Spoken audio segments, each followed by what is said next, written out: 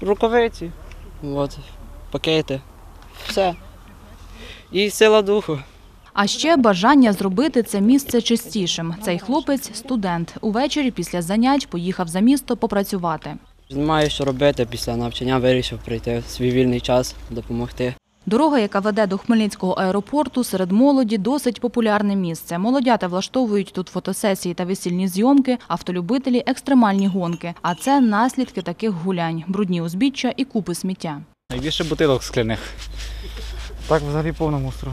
І стаканчиків, і все. Тут як приїжджають фотографувати весілля дуже багато. Бутилок з-під шампанського і пива, і все. Ну, Бутилок з-під пива, з-під коньяку, з-під мінеральної води, багато всього є. І нашим свиням передаю привіт Хмельницьким.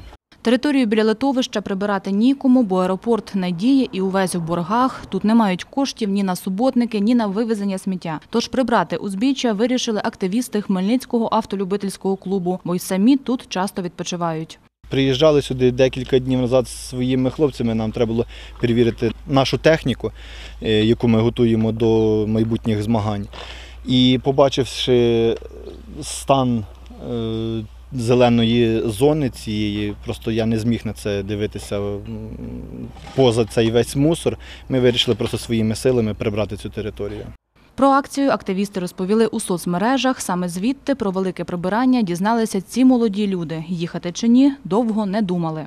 Є можливість присвятити себе якомусь благородному ділу, і тому я зголосився. Я тільки за.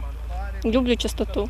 Довго чи ці узбіччя залишатимуться без сміття, залежить від кожного, хто їде цією дорогою. Тому активісти просять берегти довкілля і пам'ятати, що найчастіше там, де не смітять. Вікторія Паламар, Дем'ян Цегольник для інформаційного випуску.